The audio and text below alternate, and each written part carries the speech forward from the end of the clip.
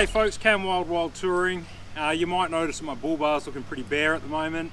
Uh, my King Spotties didn't survive my last trip. Uh, they're cracked. Uh, one of the one of the um, brackets has stripped the thread inside so they were flopping around like mad. Yeah, they're shagged. So um, that's basically what this video is about. I've got something else to show you, a bit of a review to do. Back in 2016, Stedi released a, uh, a driving light, an LED driving light called their Type X, and it really sort of upset the market because it was uh, just as good as some of the major competitors, but priced so that you know the average average bloke can afford a set. Fast forward a couple of years, and they brought out their Type X Pro. Um, I got a set of them here to show you today. These are the 8.5 inch. Um, so I'll show you what's inside the box and what they look like. They are packaged really nicely. It kind of feels like you're opening a high-end uh, laptop or a drone or a new iPhone or something. Their attention to detail is pretty nice. Not necessary, but nice. Alrighty, so these are IP68. What that means is that's the highest rating of dust and water ingress protection. So they can be underwater for at three meters for 30 minutes before any water gets into them. And I reckon if your bull bar is three meters underwater, you get other issues. So inside the box, they come with uh, a couple of Stedi light covers. There's different ones available online if you don't like them. They also came with one of these ones you would have seen before. This is pretty iconic now. The Stedi smile. So you see a lot of blokes running one of each, which is probably what I'll do. It Looks pretty cool. Now they also come with these different coloured uh, rings.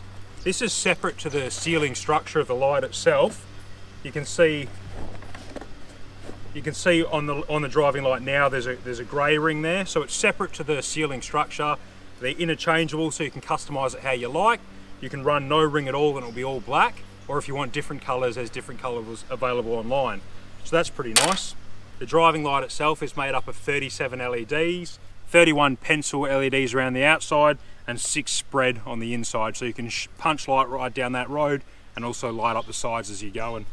So Stedi claim that the lens is similar to, ballistic grade glass, virtually indestructible. They also say that it's completely UV proof, which is why you can get away without running a lens cover at all if you don't want to. Um, if you do want to buy lens covers, they do have different coloured ones or clear ones available online. Uh, I think that's pretty important because I found with some of the cheaper Chinese uh, online lights that I've bought in the past, the covers on them start to go yellow and brittle from the UV and then when you try to take them off or you try to clean them, you end up breaking the things. And when you run the cheaper ones without a lens cover, you know, the first rock that comes across is going to smash it, which is exactly what happened to my, my cheap uh, Kings ones. You can see there, as soon as I took the lens cover off, the first bloody trip I did without it, big crack. And this is some kind of plastic. It's, it's, it's not glass, but it still managed to crack that. Don't know if you can see that on camera there or not. Um, well, that's another thing I'll talk about. The, the brackets on these cheaper uh, LED driving lights are like a three or a four mil folded steel bracket. Um, you'll find on, on these Stedis, one of the major selling points for me, the things that I really liked, was that they've gone with a cast 10 mil uh, cast alloy bracket. Um, what that means is it's not folded, it's not welded, so you don't have those points of fatigue, and you're less likely to have vibrations as well while you're driving. So that's a seriously beefy piece of um, artwork there. And they've finished it off nicely with a bit of brushed stainless on the sides. Looks pretty, pretty flash, pretty cool. So also in the box here, it'll come with a wiring harness. Now I've run the Stedi wiring harness previously as well, even with the King Spotties, just because it's a better quality harness than uh, a lot of the cheap Chinese lights you buy online. Um, It'll come with a HB3 and a H4 adapter. So literally this just piggybacks into the back of your headlights. No wiring, no splicing, no soldering, nothing. Really simple. I'll show you quickly how to do it. And then lastly, this little box will just be fixings, nuts, bolts, washers, and it looks as though it even comes with Allen keys for adjustments. So for those of you that are into numbers, Um, the color temperature is 5700 Kelvin, uh, which is a wider sort of light and a little bit easier, less fatiguing on the eyes. Power wise, each one draws, I think it's 137 watt, so about 10.4 amp each. Combined, they'll punch out 26,000 raw lumens and one lux at 1.155 kilometers. So that's some serious distance there. So all that stuff in the brochure is pretty impressive. Um, but for me, I don't need to be able to read a Chinese takeaway menu 10 Ks down the road. I just need to be able to punch out enough light for when I'm doing 110 K-ish an hour, an hour. I can see a few hundred meters in front of me and to the side, so if any animals are coming on the road or anything like that, I can avoid them. So that's it. Looks like a really nice bit of kit. Um, I'll show you how simple it is to fit and then as it starts to get darker we'll go for a bit of a cruise and we'll see how the lights actually perform. So one pack of fixings for each light. First up I'm just going to connect the actual bracket to the light itself. What I really like about this as well, instead of this having like a threaded casing that you, you screw your, your bolt into, they've actually got a little recess where you can put your nylock in there and then you're threading into the nylock the beauty of that is, with these cheaper ones, they thread that actual alloy cast housing. It's not hard to split or crack that thread. If you over tighten these, it just ping and then they're shagged, which is what happened on this side. I just kept adjusting it because it kept flopping around off-road and corrugations. And then eventually I just stripped the thread and now they're completely useless unless I tap a bigger thread, but you're gonna run out of meat eventually and you're gonna have the same problems every time. So that's another really good feature of these Stedi lights.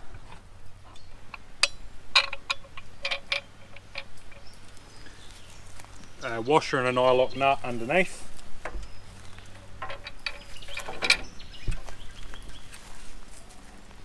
So I'll button that up from underneath with that nylock.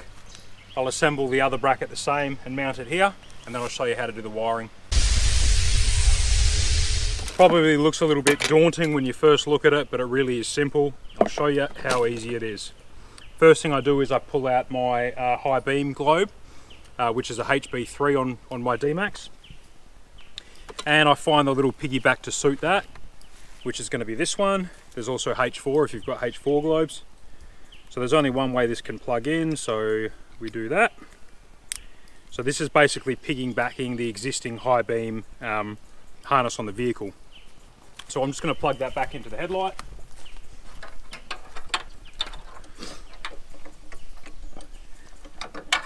I'm going to plug the factory car wiring back into that little piggyback adapter. And then all that's going to be left hanging out is this little connector here. And that's going to fit the Stedi harness so let's get that so if you lay this all out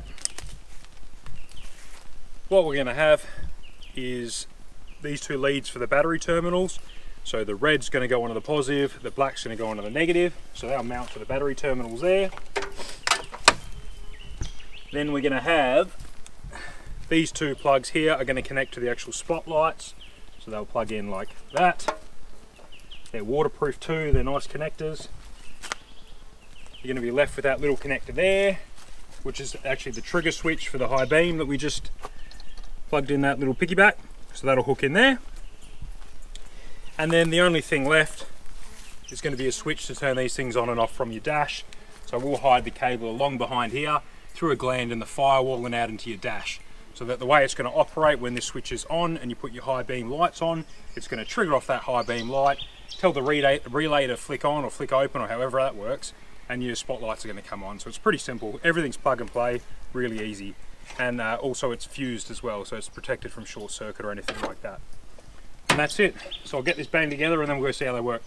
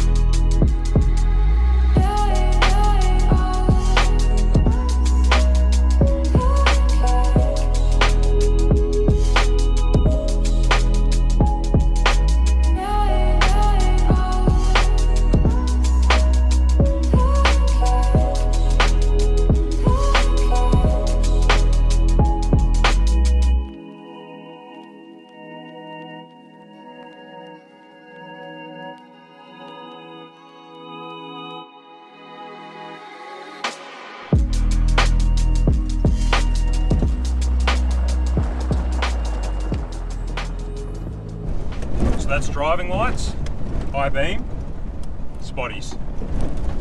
So really night and day with the standard driving lights.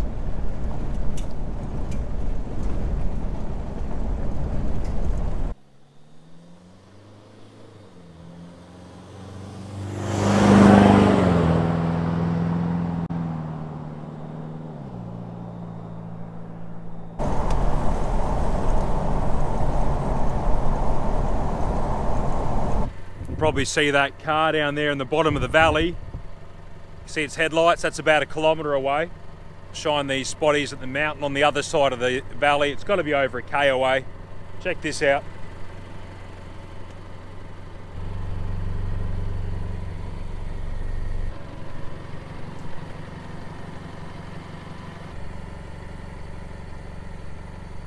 Seriously hard to capture how good these things are, especially with uh, my sort of camera gear.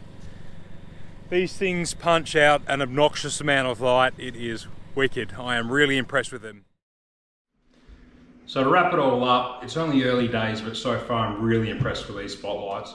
Of course, I'll keep you posted on how they go in the future. Um, I'm really excited to have them on the front of my car for the big lap next year. There's three things you can do to keep yourself safe with, safe with night driving bull bar up the front end, which I've got, driving to conditions, which we always do, uh, and lastly is having a good set of spotlights so that you can see any danger upcoming, like animals jumping out the road or whatever, and you've got that reaction time to, um, to stop or to pull up before. But yeah, performance and build quality is out of this world, especially for the money you pay for these things. I'm really impressed. The only negative things I can say about it is uh, because they are so bloody bright and they're LED, you still get that reflection off the street signs and the cat eyes that is just about blinds you, which you would have seen in the video. I never noticed it so bad with the old um, halogen globe lights uh, that threw that more sort of like yellow light. But I don't think that's a fair comparison because those lights were just nowhere near as bright. They didn't throw light as far and their light wasn't um, as usable um, and they just weren't as bright. So I, I, that's probably not a fair comparison. And I haven't come across a set of spotlights yet that don't do that. Uh, the only other negative thing I can say is the price. And let me explain that further to you. These are priced at $689 for the set with the wiring harness. Um, if, if you're in the market for a set of spotlights and you don't care about performance, you don't care about build quality, and you don't expect them to last very long, then you can get an, you know, many other sets of sub $200 nine inch LED spotlights, bolt them on the front of your car on eBay or Full Drive Supercenter or the likes. Um, BCF sell a set, Supercheap sell something around that price as well. So there's plenty of cheaper lights um, that will do a job. Not do the same job, but they'll do a job when they are working. Um, so I'm just trying to be the devil's advocate here, but it's not a fair comparison again because the build quality is nowhere near on the same level. They're not going to last you. They are going to fall apart eventually or stop working. And even when they do work, they're shit. Uh, there's nothing else to say. It's, they're just not the same. Uh, so in respect of that, I think $689 for the set of Stedis does represent extremely good value, uh, especially when you compare them to other um, to other brands of similar quality, like Lightforce. They do their HTX HTX2, which retail for about $1,600 for a pair.